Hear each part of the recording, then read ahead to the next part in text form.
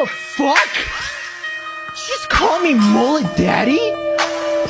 What the fuck?